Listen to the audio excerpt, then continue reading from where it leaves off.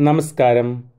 ഡുബുപ്പാക്ക് ഒരാനുണ്ടായിരുന്നു എന്ന നോവലായിരുന്നു നമ്മൾ പഠിച്ചുകൊണ്ടിരിക്കുന്നത്. B com B B A വിദ്യാർത്ഥികൾക്ക് പഠിക്കാനുള്ള first semester F Y U G P Calicut university ഇന്ന് നമ്മൾ എട്ടാം അധ്യായം നോക്കുന്നു. കള്ളസാച്ചി പറയും കയ്യേല.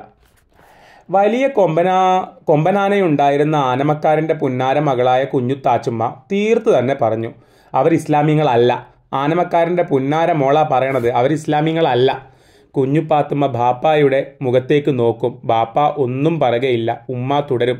ക്യാമം അടുത്തതിന്റെ അടയാളം കണ്ടോ? ലോകം അവസാനിക്കാൻ പോകുന്നതിന്റെ അടയാളമാണ് ആയിഷായും അവളുടെ ബാപ്പായും ഉമ്മായും എന്നാണ് ഈ കുഞ്ഞു കുഞ്ഞിത്താച്ചുമ്മ പറയുന്നത് അവർ എന്താ പറയുക ഈ രീതിയിൽ ജീവിക്കുന്നതൊക്കെ കിയാമൻ നാളിന്റെ അല്ലെങ്കിൽ അവസാന നാളിന്റെ ലക്ഷണമെന്നാണ് പറയുന്നത്. ആ പെമ്പറം നോത്തി തലേ പൂ വെച്ചിരിക്കണമെന്നേ അവസാനം പറഞ്ഞ പൂവിന് പൂ എന്നുള്ളൊരു ആട്ടിന്റെ ഒരു ധ്വനിയും കൂടി ഉണ്ടെന്ന് നോക്കാം ഉണ്ടെന്ന് മനസ്സിലാക്കാം. അപ്പോൾ പെൺപിറന്നോൾ പെൺകുട്ടികൾ തലയിൽ പൂവൊക്കെ വെക്കുക എന്ന് പറയുന്നത് എന്താണ്? അവസാന നാളിന്റെ ലക്ഷണമാണെന്ന് പറയുകയാണ് അത്രത്തോളം ഇടുങ്ങിയ ചിന്തയാണ് നമുക്കിവിടെ കാണിച്ചു തരുന്നത്. ആയിഷയുടെ ഉമ്മ മുടിക്കെട്ടിൽ പൂവ് ചൂടിയിട്ടുണ്ട്. അത് ഇസ്ലാമിന് ചേർന്നതാണോ? പിന്നെ ആ പെങ്കൊച്ചിന്റെ കോലം കണ്ടോ? മുടിയെ രണ്ട് വാലാക്കി തോളോക്കൂടെ നെഞ്ചത്തിട്ടിരിക്കണ്. തോളേക്കൂടെ നെഞ്ചത്തിട്ടിരിക്കുന്നത് അപ്പോൾ അതൊന്നും ഇസ്ലാമികൾ ചെയ്യുന്ന രീതിയല്ല എന്നാണ് ഇവർ പറയുന്നത്. ആയിഷ അവളുടെ മുടി കൊണ്ട് പല കസർത്തുകളും കാണിക്കാറുണ്ട്. അവൾ മഹാകിറുക്കിയാണ് അവൾ ഓടും ചാടും തുള്ളും ഡാൻസ് ചെയ്യും പാട്ടും പാടും. ഒരു ദിവസം ആമ്പൽ പൊയ്കയുടെ അടുത്ത് നിന്ന് ഭക്തി പാരവശ്യത്തോടെ അവൾ ഒരു പാട്ട് പാടി. കുഞ്ഞുപാത്തുമ്മ വിചാരിച്ചത് പടച്ചോനോട് എന്തോ അപേക്ഷിക്കുകയാണെന്നാണ്. പിന്നെ അവൾ വിചാരിച്ചു വല്ല ബൈത്തായിരിക്കുമെന്ന്. അതോ കെസ് പാട്ടോ? എന്താണെന്ന് അവൾക്ക് മനസ്സിലായില്ല. അവളും ഭക്തിയോടുകൂടി രണ്ടു കൈയും ഉയർത്തി ആമീൻ പിടിച്ചു. തീർന്നപ്പോൾ ആമീൻ എന്ന് പറയുകയും ചെയ്തു. ആയിഷ ചിരിച്ചില്ല. ചുമയ്ക്കുന്നത് പോലെ കാണിച്ചു. പക്ഷേ അത് ചിരി അടക്കുകയായിരുന്നു എന്ന് പിന്നീട് അവൾക്ക് മനസ്സിലായി. അവൾ ചോദിച്ചോ ചോദിച്ചു ആ എന്താണ്? ആയിഷ പറഞ്ഞു എന്നോട് ചോദിക്കല്ലേ? ഞാൻ തികച്ചും അജ്ഞ. അറിവില്ലാത്തവൾ. ആ മഹാൻ വരുമ്പോൾ ചോദിക്കൂ അദ്ദേഹമാണ് ഇതിന്റെ കർത്താവ്? എന്ത് ഭാഷയാണെന്ന് ആർക്കും ഒരു പിടിയില്ല. ഞങ്ങളുടെ കോളേജിലെ പെൺകുട്ടികൾക്ക് ഘോഷയാത്രയിൽ ഉഗ്രമായി പാടി അലറാൻ അദ്ദേഹം നിർമ്മിച്ചതാണ്. ഞങ്ങളിത് കോളേജിലെ ഘോഷയാത്രയിൽ പാടുകയും ചെയ്തു. അപ്പം അത് കേട്ടിട്ടാണ് ആമീൻ എന്ന് പറഞ്ഞത്. അപ്പോൾ ഇവരൊന്നും ആശയം മനസ്സിലാക്കിയിട്ടൊന്നുമല്ല. ആ ടോണ് കേട്ടങ്ങ് പറയാണ് അത്രത്തോളം ഉൾവലിഞ്ഞ ജീവിതമാണ്. തുട്ടാപ്പി പാടിയപ്പോൾ ഞാൻ ആമീൻ പിടിച്ച് ലുട്ടാപ്പി ആയിഷാനെ കുറിച്ചാട്ടോ. അപ്പോൾ ആളെഴുതി തന്ന എന്ന് പറഞ്ഞത് നിസാർ അഹമ്മദിനെ കുറിച്ചായിരിക്കും അങ്ങേരെ തന്ന എന്നായിരിക്കും ഉദ്ദേശിച്ചത്. അപ്പം ആയിഷ പറയാം ഞാൻ കണ്ടു. ആമീൻ പിടിച്ചതിന് ദോഷമുണ്ടോ? കള്ള ബുദ്ധൂസെ ഗുണമല്ലാതെ യാതൊരു ദോഷവും ഇല്ല എന്ന് പറയാണ് ആയിഷ. എന്നാൽ ഒന്നുകൂടെ പാട്. നല്ല എശലുണ്ട് നല്ല ട്യൂണുണ്ട് എന്ന് പറയാം. എന്നാൽ ഭക്തിയോടെ ഇരുന്നോളൂ. മനസ്സിലുള്ള എല്ലാ വിചാരങ്ങളും മാറ്റുക മനസ്സ് ശുദ്ധമാക്കണം എന്നിട്ട് ശ്രദ്ധിക്കുക. കൊടിയെല്ലാം പിടിച്ചുകൊണ്ട് കോളേജ് പെൺകുട്ടികളുടെ ഒരു വലിയ ഘോഷയാത്രയിൽ അവർ എന്ന് വെച്ചാൽ ഞങ്ങൾ ഗംഭീരമായി പാടിക്കൊണ്ട് പോകുകയാണെന്ന് വിചാരിക്കൂ. എന്ന് പറഞ്ഞിട്ട് പാടിക്കൊടുക്കുക. വിചാരിച്ച് ശരി കേൾക്കുക. അവൾ പാടി. ഹോ ഹോ ഹോ. ഗുത്തിനി ഹാലിട്ട ലിത്താപ്പോ സഞ്ജിനി ബാലിക്ക ലുട്ടാപ്പി ഹാലിത്ത മാണിക്കൽ ഇഞ്ചല്ലോ സങ്കര ബാഹന ലൂലിപ്പി ഹുഞ്ചിനി ഹീലത്ത ഹുത്താലോ ഫാനത്ത ലാക്കിഡ് ജിംബാലോ. ഹാ ഹാ ഹാ. ഹോ ഹോ ഹോ. എന്നിട്ട് ആയിഷ തുടർന്ന് പറഞ്ഞു ഇതിപ്പോൾ എല്ലാം ശരിയാണെന്ന് എനിക്ക് വിശ്വാസമില്ല. ചില വാക്കുകൾ വിട്ടുപോയിട്ടില്ലേ എന്ന് ഞാൻ സംശയിക്കുന്നു. വല്ലതും വിട്ടുപോയിട്ടുണ്ടെങ്കിൽ അദ്ദേഹം നമ്മളെ തല്ലും. അപ്പോൾ അതിനുവേണ്ടി എഴുതി കൊടുത്ത പാട്ട് അതാണ്. അത് ബഷീർ അർത്ഥങ്ങളില്ലാണ്ട് കുറേ അക്ഷരങ്ങൾ കൂട്ടിച്ചേർത്ത് എഴുതിയതാണ്. തുട്ടാപ്പിന്റെ ഇക്കാക്ക അറിയണതെങ്ങനെ? അറിയുന്നത് എങ്ങനെയെന്നോ കൊള്ളാം. അദ്ദേഹം വന്നാൽ ഉടനെ എന്നെ വിളിക്കും. ലുട്ടാപ്പി ഇവിടെ വരൂ. ഈ വരക്കകത്ത് നിൽക്കൂ. ആ വരക്കകത്ത് നിൽക്കും. ഇക്കാക്ക പറയും പാടൂ. പാടിയില്ലെങ്കിൽ എന്നെ അറുത്ത് രണ്ടായിരം കഷ്ണമാക്കും. എന്നിട്ട് രണ്ടായിരം കിളികൾക്ക് കൊടുക്കും. അതിനുശേഷം ആ കിളികളെ എല്ലാം ഇക്കാക്ക വെടിവെച്ച് കൊല്ലും. എന്നിട്ട് അതിനെ എല്ലാം പൊരിച്ചു തിന്നും. അറുത്ത് തിന്നണ്ടേ? എന്ന് ചോദിക്കുകയാണ് ആര് കുഞ്ഞുപാത്തുമ്മ. ബിസ്മി ചൊല്ലി അറുത്ത് ഹലാലാക്കി വേണമല്ലോ തിന്നാൻ. അങ്ങനെ ഇതിലൂടെ ഇങ്ങനെയൊക്കെ ഈ പറയുന്ന രസകരമായ കഥകളിലൂടെ കുഞ്ഞുപാത്തുമ്മയുടെ മനസ്സിലുള്ള കാര്യങ്ങൾ ഓരോന്നായിട്ട് പറയാണ്. അപ്പോൾ ആയിഷ വീണ്ടും ബുദ്ധുസേ ആയിഷ പറഞ്ഞു എന്നെപ്പോലുള്ള ഒരു നല്ല പെണ്ണിനെ കൊന്നിട്ടുള്ള കാര്യമാണ് ഈ പറയുന്നത്. മുസഫ് കക്കുന്നവന് ഒസു വേണമോ? മുസഫ് എന്ന് പറഞ്ഞു കഴിഞ്ഞാൽ ഖുറാനാണ്. ഖുറാൻ നമ്മൾ വായിക്കാൻ എടുക്കണമെങ്കിൽ ഒസു എന്ന് വെച്ചാൽ കഴിഞ്ഞാൽ നേരത്തെ പറഞ്ഞില്ലേ അംഗശുദ്ധി വരുത്തണമെന്ന്. അപ്പോൾ കക്കുന്നവൻ അതിന്റെ ആവശ്യമുണ്ടോ എന്ന് ചോദിക്കുകയാണ്. വേദഗ്രന്ഥമായ ഖുറാൻ മോഷ്ടിക്കുന്നതിന് ദേഹശുദ്ധി ഉണ്ടായിരിക്കണമെന്നില്ലല്ലോ. ഇങ്ങനെ പലതും ആയിഷ പറയും. ചിലപ്പോൾ ചില പത്രങ്ങൾ കൊണ്ടുവന്ന് പേടിപ്പെടുത്തുന്ന വാർത്തകൾ കുഞ്ഞുപ്പാത്തുമ്മയെ വായിച്ച് കേൾപ്പിക്കും. ആ കടലാസിൽ ആ ഭയങ്കര സംഭവമുണ്ടെന്ന് കുഞ്ഞുപ്പാത്തുമ്മയ്ക്ക് വിശ്വസിക്കാൻ ആ വിധം അവൾ നിൽക്കും. ആയിഷ ആ സ്ഥലം ചൂണ്ടിക്കാണിച്ച് ഒരിക്കൽ കൂടി വായിച്ച് കേൾപ്പിക്കും. കുഞ്ഞുപ്പാത്തുമ്മയ്ക്ക് അതൊരു അത്ഭുതമാണ്. അവൾ അത് പറയുകയും ചെയ്യും. അങ്ങനെ ഒരു സന്ദർഭത്തിൽ ആയിഷ ചോദിച്ചു താത്തായെ എന്താ എഴുത്തും വായനയും പഠിപ്പിക്കാഞ്ഞത്? ഒരുപാട് സ്വത്തുണ്ടായിരുന്നല്ലോ. എന്താ കുഞ്ഞുപാത്തും എഴുത്തും വായനയും പഠിക്കാഞ്ഞെന്ന് ചോദിക്കുക? ഇത്രയും റിച്ച് ആയിരുന്നില്ലേ നിങ്ങൾ ശരിയാണ്. ഒരുപാട് സ്വത്തുണ്ടായിരുന്നു. മുസ്ലിം എഴുത്തും വായനയും പഠിക്കേണ്ടതുമാണ്. ഒന്നിനും വിഷമമുണ്ടായിരുന്നില്ല. അന്ന് എഴുത്തും വായനയും പഠിച്ചു തുടങ്ങിയിരുന്നെങ്കിൽ ഇന്ന് ആയിഷയേക്കാൾ അറിവുണ്ടാകുമായിരുന്നു. മൂത്തതല്ലേ? എല്ലാറ്റിനും ഇന്നത്തേക്കാൾ മാറ്റമുണ്ടാകുമായിരുന്നു. ബാപ്പായും ഉമ്മായും എന്തുകൊണ്ടത് ചെയ്തില്ല? അവർ എന്തുകൊണ്ട് എഴുത്തും വായനയും പഠിപ്പിച്ചില്ല? കൊമ്പനാനയുണ്ടായിരുന്ന ആനമക്കാർ എഴുതാനും വായിക്കാനും പഠിച്ചിരുന്നോ? പാമരരായ തലമുറകൾ. എന്നിങ്ങനെ കുഞ്ഞുപ്പാത്തുമ്മ ആയിഷയുടെ കൂടെ കൂടിയിട്ട് തന്റെ സ്വന്തം അവസ്ഥ പരിതാപകരമായ അവസ്ഥ അവൾ മനസ്സിലാക്കുകയാണ്. ഇങ്ങനെ മനസ്സിലാക്കി മനസ്സിലാക്കി അവളും വെളിച്ചത്തേക്ക് എത്തുമായിരിക്കും. അന്ന് രാത്രി അവൾ അതോർത്തു. എന്തുകൊണ്ട് അവളെ വിദ്യാഭ്യാസം ചെയ്യിപ്പിച്ചില്ല? കിടക്കപ്പായിൽ കിടന്നുകൊണ്ട് ഇരുളിലൂടെ അവൾ ബാപ്പായോട് ചോദിച്ചു എന്താ ബാപ്പ എന്നെ എയ്ത്ത് പഠിപ്പിക്കാഞ്ഞത്? ബാപ്പ ഒരു ദീർഘനിശ്വാസം മാത്രം ചെയ്തു. ഉമ്മ പറഞ്ഞു എയ്ത്ത് പഠിപ്പിച്ച് നിന്നെ കാഫറ കാഫറാക്കാഞ്ഞത് എന്താണെന്നാണോ നീ ചോദിക്കണത്? അവിടെയൊക്കെ ഞാൻ മനസ്സിലായി പറയുന്നത് ഞാൻ പറയണ്ടല്ലോ കുറേ നേരം പ്രാവശ്യമായിട്ട് ഞാൻ പറഞ്ഞു കഴിഞ്ഞു. അവരുടെ ആ കുടില ചിന്തയാണ് കാണിക്കുന്നത്. എഴുത്തും വായനയും പഠിച്ചാൽ അറിവുണ്ടായാൽ ഇസ്ലാമായി ജീവിക്കാൻ സാധ്യമല്ല. ശരിയാണോ ഇത്? വായിക്കുക. ഈ വാക്കത്തെ വാക്കത്രേ ഖുറാനിൽ ആദ്യമായി വന്നത്. അപ്പോൾ ഇതൊന്നും ഒരു മതത്തിന്റെയോ ആ വിശ്വാസത്തിന്റെയോ തെറ്റല്ല കേട്ടോ. കുഴപ്പമല്ല. കാര്യം ഇസ്ലാമിൽ ഖുറാനിൽ ആദ്യം വന്ന വാക്ക് ഇക്ര എന്നാണ്. നീ വായിക്കുക എന്നാണ്. വിദ്യാഭ്യാസം നേടുക തന്നെയാണ് ഖുറാൻ ഫസ്റ്റ് പറയുന്നത്. പക്ഷേ ഇതിനെ തെറ്റായ രീതിയിൽ മനസ്സിലാക്കിയിട്ട് പലരും പല രാപ്രസംഗങ്ങളും നടത്തിയിട്ട് അതൊക്കെ കേട്ടിട്ടാണല്ലോ ഇവർ വളരുന്നത്. അങ്ങനെ തലമുറ തലമുറകളായിട്ട് ഒരു ടീം ഇങ്ങനെ ആയിപ്പോയതാണ്. അല്ലാതെ അതൊരിക്കലും മതത്തിന്റെയോ വിശ്വാസത്തിന്റെയോ പ്രശ്നമല്ല. അത് ബഷീർ കൃത്യമായിട്ട് പറയുന്നുണ്ട്. അതുകൊണ്ടാണ് അപ്പുറം ആധുനിക വിദ്യാഭ്യാസം ലഭിച്ച ഉപ്പ പ്രൊഫസറായിട്ടുള്ള മക്കൾ കവിയായിട്ടുള്ള ഇക്ക അവരൊക്കെ മുസ്ലിം ഫാമിലി തന്നെയാണ്. അപ്പം മതത്തിന്റെയോ വിശ്വാസത്തിന്റെയോ ഒന്നും പ്രശ്നമല്ല. അതിനെ തെറ്റായി മനസ്സിലാക്കിയ ഒരു വിഭാഗം ഇങ്ങനെ ആയിപ്പോയതാണ്. ചിന്തിക്കരുതല്ലോ. പിറ്റേ ദിവസം കുഞ്ഞുപാത്തുമ്മ ആയിഷയോട് ചോദിച്ചു ആയിഷ ചിരിച്ചു. അറിവില്ലായ്മയുടെ ഒരു പോക്ക്. അറിവിൽ അതായത് എന്താണ് സംഭവം? ഇസ്ലാമായി ജീവിക്കാൻ അതായത് എഴുത്തും വായനയും പഠിച്ചാൽ അറിവുണ്ടായാൽ ഇസ്ലാമായി ജീവിക്കാൻ സാധ്യമല്ല എന്നാണ് അവിടുന്ന് പറയുന്നത് ഉമ്മ പറയുന്നത്. ശരിയാണോ ഇത്? വായിക്കുക. ഈ വാക്കത്രേ ഖുറാനിൽ ആദ്യമായി വന്നത് ചിന്തിക്കരുതല്ലോ. പിറ്റേ ദിവസം കുഞ്ഞുപാത്തുമ്മ ആയിഷയോട് ചോദിച്ചു. ആയിഷ ചിരിച്ചു. അറിവില്ലായ്മയുടെ ഒരു പോക്ക്. അറിവില്ലായ്മ വളരുകയാണ്. അറിവ് വളരും പോലെ. വളർത്തിയാൽ വേണ്ടതും വേണ്ടാത്തതും വളരും. ആയിഷ പറഞ്ഞു നോക്ക് ഇസ്ലാമിന് അറിവുണ്ടായിരിക്കണം. അറിവില്ലാത്തവർ ഹമുക്കീങ്ങളാണ്. ഇസ്ലാം ഹമുക്കാണോ? ഇസ്ലാം മണ്ടക്കഴുതയാണോ? അല്ലെന്ന് കുഞ്ഞുപാത്തുമ്മയ്ക്ക് നന്നായി അറിയാം. എങ്കിലും അവൾ ചോദിച്ചു കാഫ്രീങ്ങളോട് മാറു കാണിക്കണ്ടേ? കാഫ്രീങ്ങളോട് എതിര് കാണിക്കണം എന്നാണ് പറഞ്ഞതിന്റെ അർത്ഥം കേട്ടോ. നേരാണ്. ആയിഷ പറഞ്ഞു കാഫർ കാലുകൾ കൊണ്ട് നടക്കുമ്പോൾ ഇസ്ലാം തല കൊണ്ട് നടക്കണം. കാഫർ കുളിക്കുകയും പല്ല് തേക്കുകയും ചെയ്യുന്നത് കൊണ്ട് ഇസ്ലാം കുളിക്കരുത് പല്ല് തേക്കരുത്. കാഫർ വായ് കൊണ്ട് തിന്നുന്നത് കൊണ്ട് ഇസ്ലാം അതായത് കളിയാക്കുകയാണ്. കുഞ്ഞിപ്പാത്തുമ്മയുടെ ചോദ്യം കേട്ടിട്ട് ആയിഷ കളിയാക്കുകയാണ്. ചുമ്മാ ഇരുതുട്ടാപ്പി കുഞ്ഞിപ്പാത്തുമ്മ പരിഭവത്തോടെ പറഞ്ഞു ഇന്ന് എന്തിനാ കളിപ്പിച്ചണത്? ബുദ്ധൂസേ കള്ള ബുദ്ധൂസേ അള്ളാഹുവും മുഹമ്മദ് നബിയും കൽപ്പിച്ചിട്ടുള്ളതിൽ ഈ മാറു കാണിക്കൽ യാതൊന്നുമില്ല. എന്ന് വെച്ച് കഴിഞ്ഞാൽ അള്ളാഹു മുഹമ്മദ് നബിയും ഒരിക്കലും വേറൊരു മനുഷ്യനോട് പിന്നെ ദേഷ്യം കാണിക്കരുത് കാണിക്കണം ദേഷ്യം കാണിക്കണം വിദ്വേഷം കാണിക്കണം എന്ന് പറഞ്ഞിട്ടില്ല. മനസ്സിലായല്ലോ? ആയിഷ പറഞ്ഞു കൊടുക്കുകയാണ് ബുദ്ധൂസെ കള്ള ബുദ്ധൂസെ അള്ളാഹുവും മുഹമ്മദ് നബിയും ഒരിക്കലും എന്ത് ചെയ്തിട്ടില്ല വേറൊരു മനുഷ്യനെ വെറുക്കണമെന്നോ അവരോട് മോശമായി പെരുമാറണമെന്നോ പറഞ്ഞിട്ടില്ല.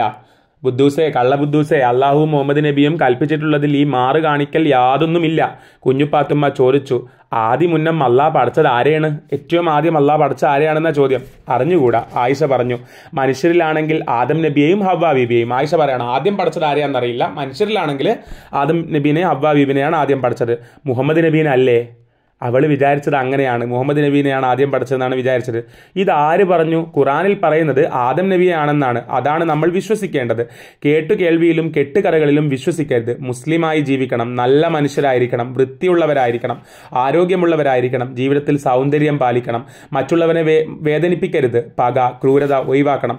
സത്യസന്ധത വേണം. പ്രപഞ്ച സൃഷ്ടാവായ അള്ളാഹുവിൽ വിശ്വാസം വേണം. അള്ളാഹുവിന്റെ ദൂതനായ നബിയിൽ വിശ്വാസം വേണം. മനുഷ്യർക്ക് ആത്മാവുണ്ടെന്നും മരണാനന്തര ജീവിതമുണ്ടെന്നും ദൈവദൂതന്മാരുണ്ടെന്നും ഇങ്ങനെ കുറേ കാര്യങ്ങളുണ്ട്. തിന്മയോടാണ് മാറി കാണിക്കേണ്ടത്. എന്ന് വെച്ച് കഴിഞ്ഞാൽ ദേഷ്യം കാണിക്കേണ്ടത് അല്ലെങ്കിൽ പിന്നെ അവഗണിക്കേണ്ടത് തിന്മയാണ്. ഇതൊക്കെ ചെയ്യുന്നവരാണ് മുസ്ലിമീങ്ങൾ. കാരുണ്യത്തിന്റെ മതമാണ് ഇസ്ലാം. ഇനിയും കള്ളബുദ്ധൂസിന് സംശയം വല്ലതും ഉണ്ടോ? അപ്പോൾ ആയിഷ അത്രയും മതവിദ്യാഭ്യാസവും ഭൗതിക വിദ്യാഭ്യാസവും എല്ലാം കിട്ടിയ ആളാണ്. പക്ഷേ കുഞ്ഞുപാത്തുമ്മ മതവിദ്യാഭ്യാസം പോലും ശരിക്ക് കിട്ടിയിട്ടില്ല എന്ന് കുഞ്ഞുപാത്തുമ്മ ഇപ്പോഴാണ് മനസ്സിലാക്കുന്നത്. അവൾ മനസ്സിലാക്കി വെച്ച പലതും തെറ്റായിരുന്നു. തുട്ടാപ്പി ഇസ്ലാമിന് പൂ അതായത് ഇസ്ലാമായ പൂ വെക്കാൻ പറ്റുമോ തൊട്ടു പോകരുത് കരിഞ്ഞു പോകും. കള്ള ബുദ്ധൂസെ കണ്ണും മൂക്കും ഉള്ളവർക്ക് വേണ്ടിയാണ് പൂക്കൾ. മുസ്ലിമിനെ മണപ്പിക്കാം തലയിൽ ചൂടാം കൂടുതൽ ഇക്ക പറഞ്ഞു തരും. ഓക്കെ. പക്ഷേ നിസാർ അഹമ്മദ് വന്ന ഉടനെ ബാപ്പ നിസാർ അഹമ്മദിന്റെ കഴുത്തു വെട്ടാൻ വലിയ വാക്കത്തിയെടുത്തു. അതിന് ഉമ്മ ആയിരുന്നു കാരണം. നിസാർ അഹമ്മദ് ഒരു വലിയ വനവുമായിട്ടാണ് വന്നത്. അത് എവിടെ നിന്ന് എങ്ങനെയാ കൊണ്ടുവന്നു കൊണ്ടുവന്നു എന്ന് കുഞ്ഞുപാത്തുമ്മയ്ക്ക് അറിഞ്ഞുകൂടാ. അധികവും പഴങ്ങളുണ്ടാകുന്ന ചെറു വൃക്ഷങ്ങളായിരുന്നു. പിന്നെ ധാരാളം തെങ്ങും തൈകൾ. ചുമ്മാ കിടന്ന ആ വെളിമ്പറമ്പ് ഒരൊറ്റ ദിവസം കൊണ്ടൊരു വനമായി മാറി. വൃക്ഷങ്ങളെല്ലാം വാരി ഒപ്പിച്ച് ഒരേ അകലത്തിൽ. അന്നവിടെ ഒരു ബഹളമായിരുന്നു.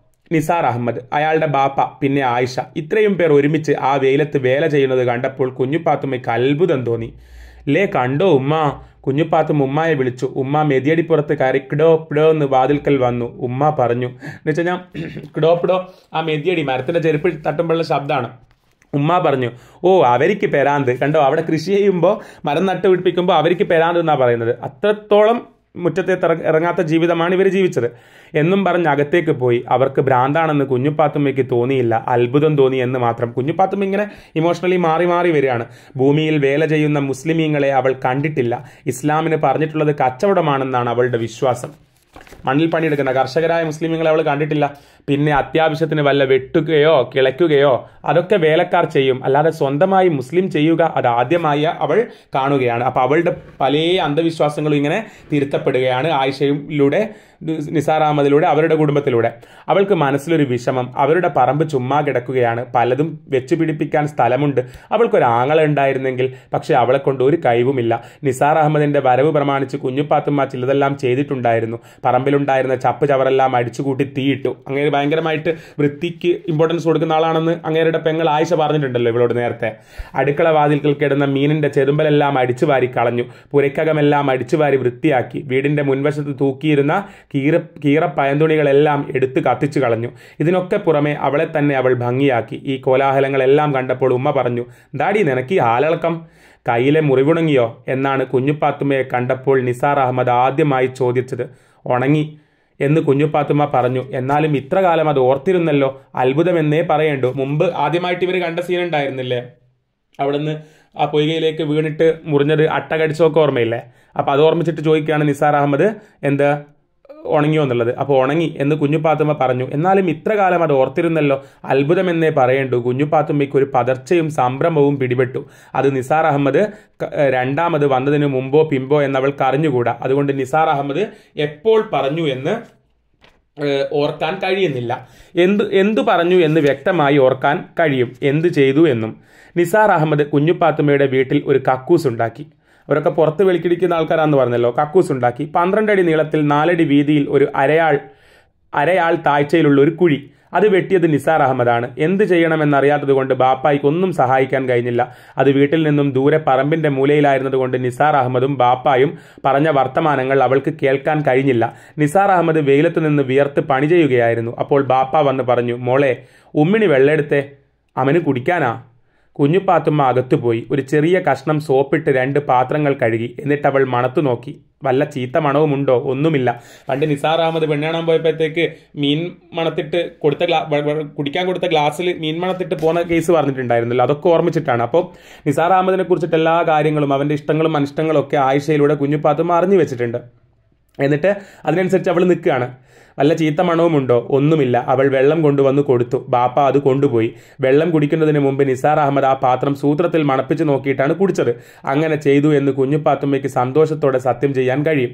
കക്കൂസിന്റെ പണി പൂർത്തിയായപ്പോൾ കുഞ്ഞുപ്പാത്തുമ്മ അത് ചെന്ന് കണ്ടു. ഒരു ചെറിയ വേലിക്കകത്തുള്ള ഒരു ചെറിയ തോട് അതിൽ രണ്ട് പാലം മണ്ണെല്ലാം ഒരു വശത്ത് കൂട്ടിയിട്ടുണ്ട്. അതിൽ ഒരു ചിരട്ട. വെളിക്കിറങ്ങി കഴിഞ്ഞാൽ മണ്ണിട്ട് മൂടണം. അതിനാണ് ചിരട്ട. ആയിഷ പറഞ്ഞു കാലക്രമത്തിൽ ഈ കുഴി മൂടും. അപ്പോൾ വേറൊന്നുണ്ടാക്കണം. അന്നത്തെ സിസ്റ്റാണ് പറയുന്നത് ഇത് നമുക്ക് നേരത്തെ തോന്നിയില്ല ബാപ്പ പറഞ്ഞു. ഇങ്ങനെ എല്ലാ വീട്ടിലും ഉണ്ടായിരുന്നെങ്കിൽ നാറാതെ നടക്കാറുന്നു തോന്നിയിടത്തിൽ വിളിക്കുവാണ്ട് അങ്ങനെ നടക്കാറുന്നു ബാപ്പ പറഞ്ഞതാണത്. ആ സംഭവത്തിന് ശേഷം ബാപ്പായ്ക്ക് നിസാർ അഹമ്മദിനെ വളരെ ഇഷ്ടമായി. അതോടെ സംശയങ്ങളും വർദ്ധിച്ചു. ഒരു നൂറുകൂട്ടം ചോദ്യങ്ങളുണ്ട്. ക്യാമം അടുത്തടുത്ത് വരികയല്ലേ? എന്ന് വെച്ചാൽ അവസാന നാൾ വരികയല്ലേ? ജനങ്ങൾ ഇത്ര അഹങ്കാരികളും ദുഷ്ടന്മാരുമായി തീരാൻ കാരണമെന്ത്? അപ്പം നിസാർ അഹമ്മദ് പറയും എനിക്കറിഞ്ഞുകൂടാ. ജനിച്ചാൽ ഒരിക്കൽ മരിക്കുമെന്ന് നമുക്കറിയാം. ഞാനും മരിക്കും. അവിടുന്നും മരിക്കും. എല്ലാവരും മരിക്കും. എല്ലാ ആത്മാക്കളും മരണത്തിന്റെ രുചി അറിയും. അത് ഖുറാനിൽ പറയുന്നുണ്ട്. എന്നാണ് ഖുറാനിൽ ഉള്ളത്? അങ്ങനെ ഒരു വരിയുണ്ട് ഖുറാനിൽ കുല്ലു നഫ്സുൻ സായിക്കത്തുൽ മൗത്ത് എന്ന് പറഞ്ഞിട്ടൊരു വരിയുണ്ട്. എല്ലാ ആത്മാക്കളും മരണത്തിന്റെ രുചി അറിയും. എന്നാണ് ഖുറാനിലുള്ളത് ഇതുപോലെ ഈ ലോകവും ഒരിക്കൽ നശിക്കും. അതുകൊണ്ട് എന്താ നശിക്കുമ്പോൾ നശിക്കട്ടെ. അതുവരെ സന്തോഷത്തോടെ ജീവിക്കണം. ജനങ്ങൾക്ക് ബോധമില്ലാത്തത് കൊണ്ടാണ് അഹങ്കാരികളും ദുഷ്ടന്മാരുമായി തീരുന്നത്. അസൂയയും പകയും ഒക്കെ എല്ലാവർക്കും ഇല്ലല്ലോ. നല്ല വഴിക്ക് തിരിച്ചുവിടാൻ ആൾ വേണം. പിന്നെ മറ്റുള്ളവർ ചീത്തയാണെന്നുള്ള വിചാരം കളഞ്ഞിട്ട് നന്നാക്കാൻ ശ്രമിക്കണം. അങ്ങനെ കുഞ്ഞുപാത്തുമ്മയുടെയും ബാപ്പാന്റെ ഒക്കെ കുടുംബത്തിൽ നമ്മുടെ നിസാർ അഹമ്മദ് പുതിയൊരു പ്രകാശം കൊണ്ടാണ് വരുന്നത്. അതുവരെ അവർ ജീവിച്ച ഇടുങ്ങിയ ചിന്തകളിൽ നിന്ന് അവരെ കൈപിടിച്ച് കയറ്റാൻ നിസാർ അഹമ്മദിനും കുടുംബത്തിനും കുടുംബത്തിനും പറ്റുമെന്ന് നമുക്ക് നോക്കാം. അപ്പോൾ ബാപ്പായ്ക്ക് വേറൊരു സംശയം. മൂർക്കം പാമ്പിനെ നന്നാക്കാൻ ഒക്കുവോ? അതെന്താ എന്ന് അയാൾ തിരിച്ചു വയ്ക്കുന്നു അമ്മാതിരി വിഷമുള്ള മനുഷ്യ മനുഷ്യരുണ്ട്. കുറുക്കൻ കടുവ കുരങ്ങ്. ഇതിന്റെയൊക്കെ സ്വഭാവ ഗുണം ഉള്ളവരും നമ്മൾ കണ്ടിട്ടുണ്ട്. അതുപോലെയൊക്കെയുള്ള മനുഷ്യന്മാരെ കണ്ടിട്ടുണ്ട് എന്ന് പറയാം. അതിനെയൊക്കെ മെരുക്കി മനുഷ്യരുടെ ചൊൽപ്പടിക്ക് നിർത്തുന്നില്ലേ? അതാണ് മറുപടി. അപ്പോൾ എല്ലാവരെയും എല്ലാവരോടും നല്ലോണം നിൽക്കണം നന്നാക്കണം എന്ന് പറയുമ്പോൾ ഉപ്പ ബാപ്പ ചോദിക്കുകയാണ് മൂർക്കം പാമ്പിനെ നന്നാക്കാൻ പറ്റുമോ അതുപോലെ വിഷമുള്ള മനുഷ്യന്മാർ ഞങ്ങളുടെ കൂട്ടത്തിലുണ്ട്. വലിയ വലിയ മൃഗങ്ങൾ ഒക്കെ നന്നാക്കാൻ എന്ന് ചോദിക്കുകയാണ് മൃഗീയതയുള്ള. അതെന്ന് വെച്ചാൽ അതുപോലെ അത്രയും ക്രൂരമായ മനുഷ്യന്മാരെ നന്നാക്കാൻ പറ്റുമോ അപ്പോൾ നിസാർ അഹമ്മദിന്റെ പോസിറ്റീവായിട്ടുള്ള മറുപടി എന്താണെന്ന് വെച്ച് കഴിഞ്ഞാൽ അതിനെയൊക്കെ മെരുക്കിയിട്ട് മനുഷ്യൻ തന്നെ കൊണ്ട് നടക്കുന്നില്ലേ? അത് അത് ആ കഴിവുള്ളതുകൊണ്ടല്ലേ മനുഷ്യന്? അപ്പൊ എത്ര ക്രൂരരായ മനുഷ്യന്മാരാണെങ്കിലും നമ്മൾ അവരെ ആ രീതിയിൽ പരിഗണിച്ചാൽ പെരുമാറിയാൽ അവരെ നമുക്ക് നന്ന നല്ല രീതിയിൽ നടത്താൻ പറ്റും തന്നെ അങ്ങനെ പറയുന്നത്. അതിനെയൊക്കെ മെരുക്കി മനുഷ്യരുടെ ചൊൽപ്പടിക്ക് നിർത്തുന്നില്ലേ? എന്നാലും അങ്ങനെ അവർ രണ്ടുപേരും മിണ്ടാതിരുന്ന് ആലോചിക്കും. ഒരിക്കൽ ഉമ്മ ചോദിച്ചു അഹമ്മദേ നിസാർ അഹമ്മദ് അഹമ്മദേ ആ കാടൊക്കെ എന്തിനാ വെച്ച് പിടിപ്പിക്കണത്? കൃഷി ചെയ്തേനെയാ. കുഞ്ഞുപാത്തുമ്മ വാതിലിന്റെ മറവിൽ ഇരുന്നു കൊണ്ട് മനസ്സിൽ പറഞ്ഞു അഹമ്മദ് എന്നല്ല നിസാർ അഹമ്മദ് എന്ന പേര്. നോക്കൂ കുഞ്ഞുപാത്തുമ്മ ഇതുപോലെയുള്ള ഭാഷ പറയുമ്പോൾ ആയിഷ കള്ളബുദ്ധൂസ് എന്ന് പറഞ്ഞിട്ടെല്ലാം തിരുത്തി കൊടുത്തിട്ടുണ്ട്. ഇപ്പോൾ കുഞ്ഞുപാത്ത് ഉമ്മ അഹമ്മദ് എന്ന് വിളിക്കുമ്പോൾ കുഞ്ഞുപാത്തുമ്മ പറയാണ് ബാദലിന്റെ മറവിൽ ഇരുന്നു കൊണ്ട് മനസ്സിൽ പറഞ്ഞു അഹമ്മദ് എന്നല്ല നിസാർ അഹമ്മദ് എന്ന പേര്. നിസാർ അഹമ്മദ് പറഞ്ഞു അതൊന്നും കാടല്ല രണ്ട് മൂന്ന് കൊല്ലത്തിനുള്ളിൽ നിങ്ങൾക്കെല്ലാം നല്ല മാമ്പഴം പേരക്ക കൈരച്ചക്ക സപ്പോട്ട കപ്പരക്ക എല്ലാം തരും. ഉമ്മ ചോദിച്ചു അഹമ്മദിന്റെ ഉമ്മ എന്താ ഇഞ്ഞ് ഇങ്ങാട്ട് വരാത്തത്? ഇങ്ങോട്ട് വരാത്തത് എന്താ? നിസാർ അഹമ്മദിന്റെ ഉമ്മ ആയിഷ പറഞ്ഞു. ഉമ്മാക്ക് പേടിയാണ് ഇന്നാളത്തെ വയക്കിന് ശേഷം. എല്ലാവരും ഓർത്തോർത്ത് ചിരിച്ചു. അത് നിസാർ അഹമ്മദ് വന്നതിന്റെ പിറ്റേ ദിവസമോ മറ്റോ ആണ്. വന്നു എന്നറിഞ്ഞ ഉടനെ കുഞ്ഞുപ്പാത്തുമ്മയ്ക്ക് ഭയവും സന്തോഷവും തോന്നി. മുമ്പ് തോന്നിയിരുന്ന കരൽ വേദന അധികരിക്കുകയും ചെയ്തു. എന്ന് വെച്ചാൽ പ്രണയം അത്തനെയാണ് ഇവിടെ കരലിലെ വേദനയായിട്ട് കാണിക്കുന്നത്. കുഞ്ഞുപ്പാത്തുമ്മയ്ക്ക് നിസാറിനോട് പ്രേമം തുടങ്ങി തുടങ്ങി. അതാണ് കരളിലെ വേദന അധികരിക്കുകയും ചെയ്തു. തന്നെയുമല്ല ഊണിൽ രുചി കുറഞ്ഞു. അവൾ ക്ഷീണിക്കാനും തുടങ്ങി. ആദി. ടെൻഷൻ. അങ്ങനെ ഇരിക്കുമ്പോൾ അത് സംഭവിച്ചു. നിസാർ അഹമ്മദും ആയിഷയും കൂടി വൃക്ഷങ്ങൾക്കും മറ്റും വെള്ളം ഒഴിക്കുകയായിരുന്നു. അപ്പോൾ ഒരു സന്ദർഭം പറയാം. അതെല്ലാം നോക്കിക്കൊണ്ട് എന്നാൽ അതൊന്നും ശ്രദ്ധിക്കയിൽ ശ്രദ്ധിക്കയല്ല മുറ്റത്തെ പുല്ല് പറിക്കുകയാണ് എന്ന ഭാവത്തിൽ കുഞ്ഞുപാത്തുമ്മ മു- മുറ്റത്തിരിക്കുകയായിരുന്നു. സമയം എത്രയായി എന്നവൾക്ക് കറിഞ്ഞുകൂടാ സൂര്യൻ പുളിമരത്തിന്റെ നേരെ മുകളിൽ വന്നിട്ടുണ്ടായിരുന്നു. പതിവ് പോലെ വെളിക്കിറങ്ങിയിട്ട് ഉമ്മ ചെറിയ തോട്ടിൽ നിന്ന് കരയ്ക്ക് കയറി നിസാർ അഹമ്മദ് വിളിച്ചു. ഹോയ് ഒന്ന് പറയട്ടെ? ഉമ്മ ഹാലിളക്കത്തോടെ തിരിഞ്ഞു നിന്നു. നിസാർ അഹമ്മദ് കാര്യം പറഞ്ഞു. അവരുടെ മുമ്പിൽ ചെന്നിരുന്ന് കക്കൂസ് ചെയ്യുന്നത് ശരിയല്ല. നാറുകില്ലേ? ഉമ്മ ചോദിച്ചു നീ ആരാടാ? സംസാരിക്കണമെന്ന് അറിയാവോ നീ ആരോടാ സംസാരിക്കണമെന്ന് അറിയാവോ കുഞ്ഞുപ്പാത്തുമ്മ വിളിച്ചു ഉമ്മ ഞാൻ പോര്. ഉമ്മ നിസാർ അഹമ്മദിനോട് ചോദിച്ചു നീ ഞങ്ങളെ എന്ത് ചെയ്യും? ഞങ്ങളങ്ങനെ അവിടെ വിളിക്കുന്ന നിങ്ങൾ എന്ത് ചെയ്യും? നിസാർ അഹമ്മദ് ചിരിച്ചു. ഉമ്മ വിറഞ്ഞുകൊണ്ട് പറഞ്ഞു പെണ്ണുങ്ങളുടെ പുറത്ത് മെക്കിട്ട് കയറാൻ വരാണോ? ബാപ്പ വന്നപ്പോൾ ഉമ്മ പറഞ്ഞു കിടത്തുകയില മയ്യദ്ദീനെ കിടത്തുകയില്ല എന്താണ്? ഉളിഞ്ഞു നോക്കി. ഞാൻ ആ തോട്ടിയിരുന്നപ്പം വന്ന് ഉളിഞ്ഞു നോക്കി. മയ്യദ്ദീനെ കിടത്തുകയില്ല ആര്? ബാപ്പായുടെ കണ്ണുകൾ ചുവന്നു. ഉമ്മ പറഞ്ഞു അമൻ എമൻ ആരെന്ന് ചോദിക്കുക ബാപ്പ വാക്കത്തിയെടുത്ത് മുറ്റത്തേക്ക് ഇറങ്ങി കയറ്റിയാൻ പെട്ടും. എമനാ?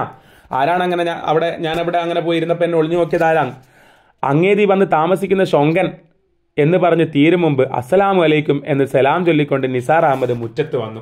അപ്പോൾ അങ്ങനെ വലിയൊരു ചെയ്യാൻ പാടില്ലാത്തത് ചെയ്യരുതെന്നേ അവൻ പറഞ്ഞിട്ടുള്ളൂ. അപ്പോൾ അതിനെ ഈ പാരമ്പര്യവും കെട്ടിപ്പിടിച്ച് ജീവിച്ചിട്ട് ഇങ്ങനെയുള്ളൊരു സ്വഭാവമുള്ള സ്ത്രീ ഇങ്ങനെ പറയുമ്പോൾ അതിന് ഒത്തു ബാപ്പ തുള്ളുന്നു എന്ന് തോന്നുന്ന സമയത്തേക്ക് അത്രയും ഭീകരമായ ഒരു സിറ്റുവേഷൻ എങ്ങനെ മാറുന്നു എന്ന് നോക്കാം. അപ്പോഴത്തേക്ക് അസ്ലാം വലൈക്കും എന്ന് സലാം ചൊല്ലിക്കൊണ്ട് നിസാർ അഹമ്മദ് മുറ്റത്ത് വന്നു. ബാപ്പ ആ ക്രോപ്പിലും വലതുവശം വെച്ച് ഉടുത്തിരിക്കുന്ന മുണ്ടിലും നോക്കി. എങ്കിലും കഠിനമായ കോപത്തോടെ സലാം അടക്കി വാലൈക്കും മുസലാം നിസാർ അഹമ്മദ് പറഞ്ഞു ഞങ്ങൾ നിങ്ങളുടെ അയൽപ്പക്കത്ത് താമസിക്കുന്നവരാണ്. ബാപ്പായും ഉമ്മായും എന്റെ സഹോദരിയും ഞാനുമുണ്ട്. നിങ്ങൾ ഇസ്ലാമാ?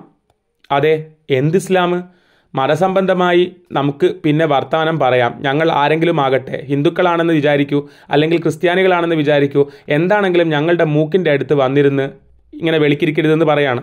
ഇരുന്നാ ഒളിഞ്ഞു നോക്കുവോ? ബാപ്പാ കുഞ്ഞുപാത്തുമ്മ അകത്ത് നിന്ന് വിളിച്ചു. ബാപ്പാ എന്താ മകളെ ഉമ്മ പറഞ്ഞത് എന്ന് കുഞ്ഞുപ്പാത്തുമ്മ പറഞ്ഞ് തീരും മുമ്പേ ഉമ്മ അവളുടെ വായ് പൊത്തിപ്പിടിച്ചു. ഹറാം പിറന്നോളെ നീന്റെ മാനം ലക്ഷീര്. ഞാൻ നിന്റെ ഉമ്മായ ആനമക്കാരന്റെ പുന്നാര മോൾ. കുഞ്ഞുപ്പാത്തുമ്മ കൈ കുതറി വിടുവിച്ചു. ഉമ്മ നുണ പറയണത്. അവൾ ഉറച്ചു പറഞ്ഞു ഹറാം പറഞ്ഞതാ മയ്യദ്ദീനെ ഞാനിവളെ പെറ്റല്ലോ. എന്താ മകളെ ബാപ്പ കയറി വന്നു. എനിക്ക് കള്ളസാക്ഷി പറയാൻ കയ്യേല കുഞ്ഞുപ്പാത്തുമ്മ പറഞ്ഞു ഉമ്മ നുണേ പറയണത്. കുഞ്ഞുപാത്തുമ്മ ഉമ്മ പറഞ്ഞു നിന്റെ ഉപ്പൂപ്പാക്ക് ഒരു ആനയുണ്ടായിരുന്നു വലിയൊരു കൊമ്പനാന അപ്പം നമ്മൾ വലിയ ആൾക്കാരാണ് നമുക്ക് എവിടെയും താഴാൻ പറ്റില്ല എന്നുള്ളതാ. എന്നാലും എനിക്ക് കള്ളസാക്ഷി പറയാൻ കഴിയല എന്തുണ്ടെന്ന് പറഞ്ഞാലും കള്ളസാക്ഷി പറയാൻ കഴിയല എന്താ മകളെ? ബാപ്പ ചോദിച്ചു. കുഞ്ഞുപ്പാത്തുമ്മ പറഞ്ഞു ഉമ്മ നുണയെ പറയണത് അവിടെ ആ പറമ്പിൽ നിന്നോട്ട് ഹോയ് എന്ന് വിളിച്ച്. എന്നിട്ട് ഞങ്ങളുടെ മൂക്കിന്റെ അടുത്ത് വന്നിരുന്ന് വെളിക്കിറങ്ങണ ശരിയാണോ എന്ന് ചോദിച്ച്. അതിന് ഉമ്മ ബെഹണ്ട് അത്രേ ഉണ്ടായുള്ളൂ. ഉമ്മ പറഞ്ഞു എനിക്ക് ആരുമില്ല. കണ്ടോ? അങ്ങനെ വലിയൊരു പ്രശ്നം ഉണ്ടാക്കാൻ നോക്കിയ ഉമ്മ അത് പാളി തോന്നിയപ്പോഴത്തേക്ക് പിന്നെ സെന്റി ഇറക്കുക സെന്റിമെൻസ് ഇറക്കുക. കുഞ്ഞിത്താച്ചുമ്മ നിന്നെ ഞാൻ കഷണം കഷ്ണമാക്കും. എന്നേങ്ങ കൊന്നേര് എന്നേങ്ങ കൊന്നേര്. നാ കൈത്ത് കണ്ടിച്ചോ?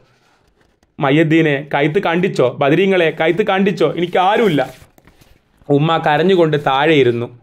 ബാപ്പ വെളിയിൽ ഇറങ്ങിച്ചെന്നു. നിസാർ അഹമ്മദിനോട് വളരെ സൗമ്യതയിൽ പറഞ്ഞു ഞങ്ങൾ പാവങ്ങളാ ഇപ്പം എന്തു ചെയ്യും? നിസാർ അഹമ്മദ് പറഞ്ഞു ഞങ്ങളും പാവങ്ങളാണ്. ഞങ്ങൾക്ക് സ്വന്തമായി സ്ഥലമൊന്നുമില്ല.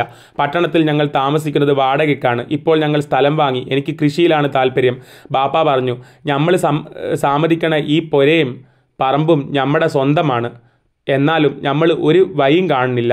നോക്ക് പറമ്പിൽ വല്ല മറയും തുറയുണ്ടോ? എന്ന് വെച്ചാൽ കക്കൂസിനൊരു വഴിയും ഇല്ല എന്നാണ് പറയുന്നത് ഇന്നാട്ടിൽ അധിക മനസ്സേരും സന്ധ്യ കഴിഞ്ഞാൽ കക്കൂസി പോണേ. നാട്ടുവഴി നമ്മുടെ കെട്ടിയോളും മോളും കക്കൂസി പോണത് പോണത് എന്താന്ന് വെച്ചാൽ നമ്മൾ ഒരു സീതിയിലൊക്കെ കഴിഞ്ഞവരാ.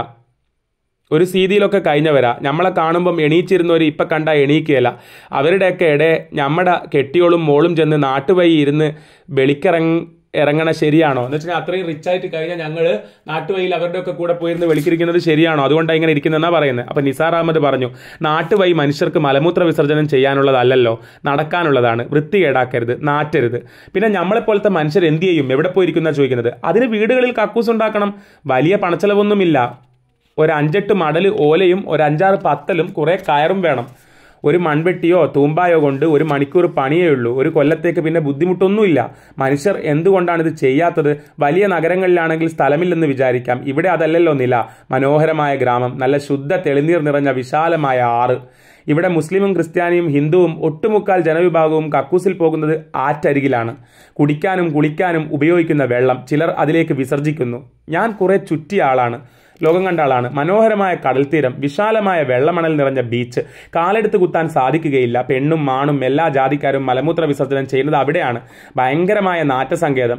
മനുഷ്യർ എന്തുകൊണ്ട് ഇങ്ങനെ ആകുന്നു? മറ്റുള്ളവർക്ക് അസുഖവും ഉപദ്രവവും ഉണ്ടാക്കാതെ ജീവിക്കാൻ കഴിയുമല്ലോ? ഇടവഴികളിൽ കൂടി നടക്കാൻ ഒക്കുമോ? കക്കൂസ് ചെയ്യുന്നു. വേണ്ടുവോളം സ്ഥലമുണ്ട്. ഇവിടെ ഞാൻ പറയുന്നത് പോലെ ഒന്ന് ചെയ്യാമോ? ഒരു അഞ്ചെട്ട് പത്തലും കുറേ കയറും ഒരു മൺവെട്ടിയും കുറച്ച് ഓലയും. ഇത്രയും സാധനങ്ങൾ ഉണ്ടാക്കാമോ?